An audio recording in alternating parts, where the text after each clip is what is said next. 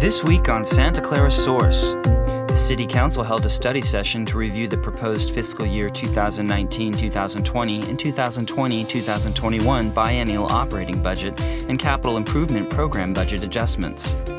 Another study session on the proposed budget will be held on June 4th, with the final council consideration of the budget on June 25th.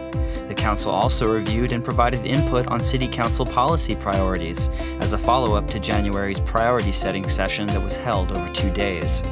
The Santa Clara Library Foundation and Friends presented their accomplishments for the fiscal year 2018 2019. The Santa Clara Sister Cities Association made a presentation on their exchange visit to Limerick, Ireland.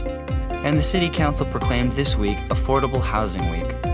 Meanwhile, the Council approved an affordable housing agreement with St. Anton for a 196 unit affordable apartment community within the Tasman East Specific Plan area. The 100% affordable housing project will remain affordable for 55 years. A temporary moratorium on all commercial cannabis activity was extended by the Council through June 30, 2020.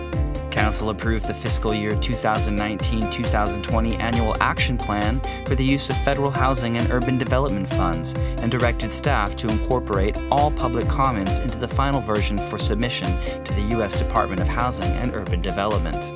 Also, the Council unanimously adopted a resolution amending Silicon Valley Power's rules and regulations to align with the city's sustainability commitment and advance the city's local climate action plan goals. Finally, in relation to the voter approved Measure N, the Council approved an appointment process to select a new Charter Review Committee, and also approved that this Charter amendment language will be placed on the November 2020 ballot. And that's your Santa Clara source for this week. For the latest city happenings, visit us online at santaclaraca.gov.